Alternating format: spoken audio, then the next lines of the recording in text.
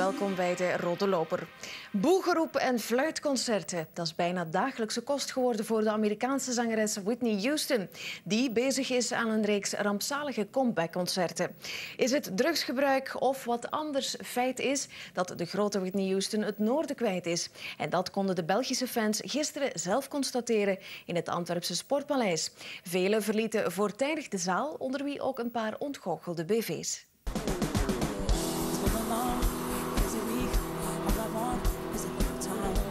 Ik ben uh, fan van uh, het allereerste nummer, All at Once.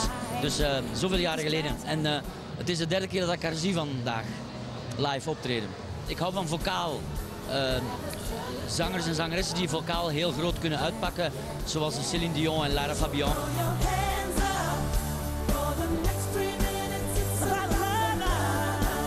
Toen het eerste nummer hoorde, ik kende het nummer van de cd en dan wist ik van, oei oei, dat klopt niet. Daar, haar cd is een hoge, scherpe stem en dat was heel dof, heel zwaar. En toen dacht ik van, dat komt niet goed.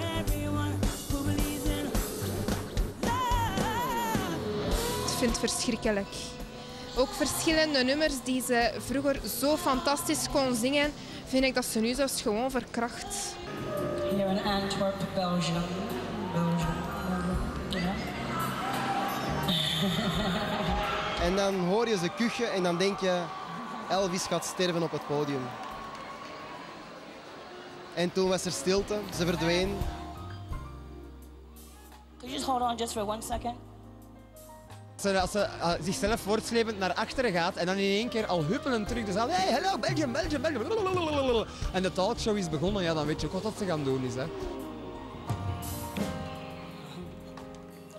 This song I'm going to do for you is um, a song that was written for me about 13 years ago. Je ziet wel dat er iets, iets gaande is. En ik hoop voor haar dat ze haar pakt dat dat niet haar einde wordt. Hè. Op die manier zou wel erg zijn. Hè? Ja. Wij hebben besloten om weg te gaan. Het is uh, niet om aan te horen. Het was een diva, maar nu niet meer. Ik heb spijt dat ik feite dat ik gekomen ben. Ik ga nu in de auto, zet ik er cd op, want de cd is beter dan het concert. Ik heb geen woorden voor en ik hoop dat iedereen zijn geld terugkrijgt, want dit is echt een schande. After all that I've been through, who on earth can I turn to?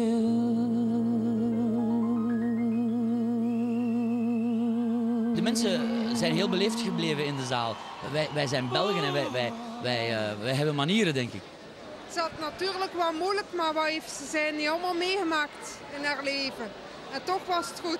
Probeer jij het maar eens na te doen als je zoveel hebt meegemaakt. Of niet? I look to you.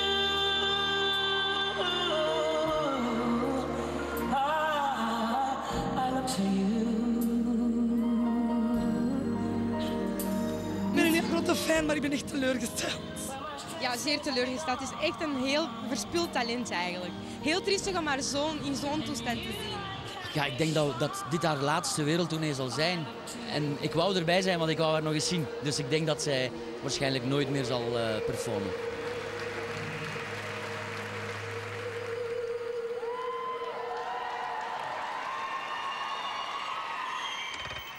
Actrice Monica Bellucci is in Rome moeder geworden van een dochter, Leonie.